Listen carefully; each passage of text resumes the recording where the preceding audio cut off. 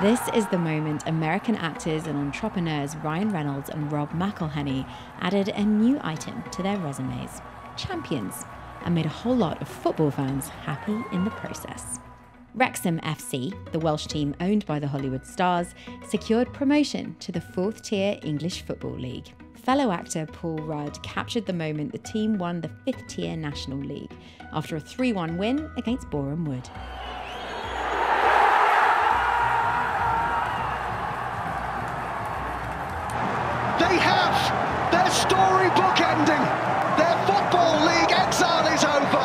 Been 15 years since Wrexham has been in the English Football League.